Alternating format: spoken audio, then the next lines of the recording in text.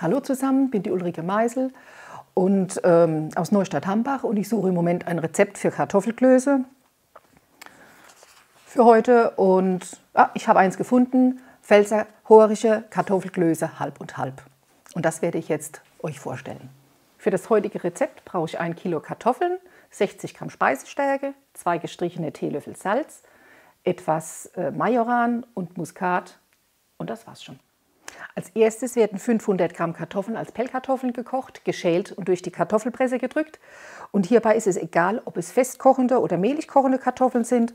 Man kann auch Kartoffeln vom Vortag nehmen.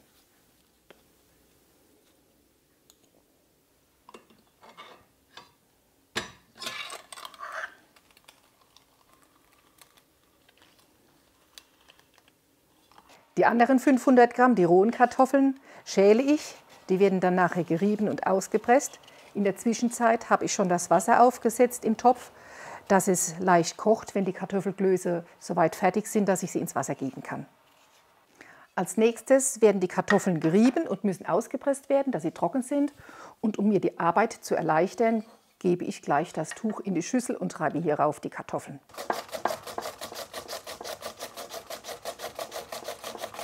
Die fein geraspelten Kartoffeln drücke ich jetzt über einer Schüssel aus. Und hierzu ist es wichtig, dass das Handtuch ein frisches, sauberes Handtuch ist und einiges an Kraft aushält.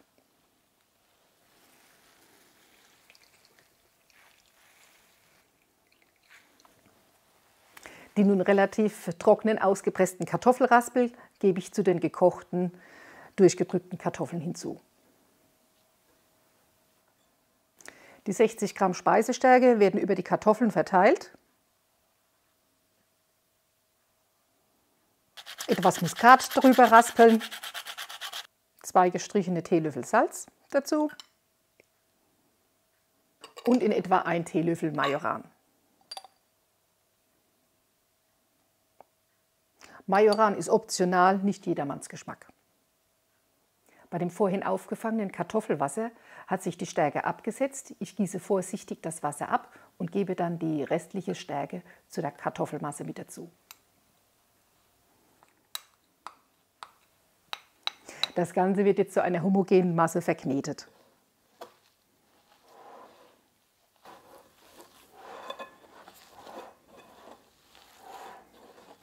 Die Menge reicht für 8 bis 10 Knödel. Ich forme heute 8 Knödel davon. Hierzu teile ich mir die Masse etwas grob ein, dass die Knödel in etwa gleich groß werden.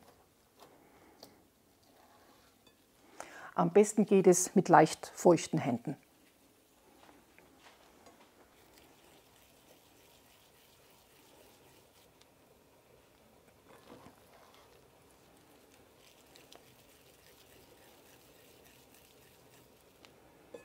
Die Knödel kommen jetzt in das kochende, leicht gesalzene Wasser und dürfen dann hier 20 Minuten gar ziehen, aber nicht kochen.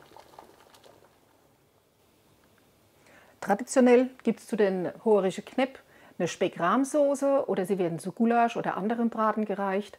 Aber es passt wunderbar auch gebratene Balsamico-rote Beete dazu oder ein schönes Wirsinggemüse. Auch das geht. Es muss nicht immer Fleisch sein. Die Zeit ist um. Die Hoherische Knepp sind fertig. Ich hole sie Stück für Stück mit der Schaumkelle aus dem Wasser.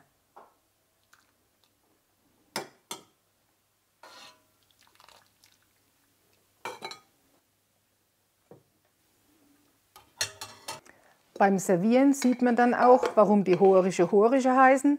Außen sieht man, die Kartoffelraspel sehen aus wie Haare, wie die Hohe.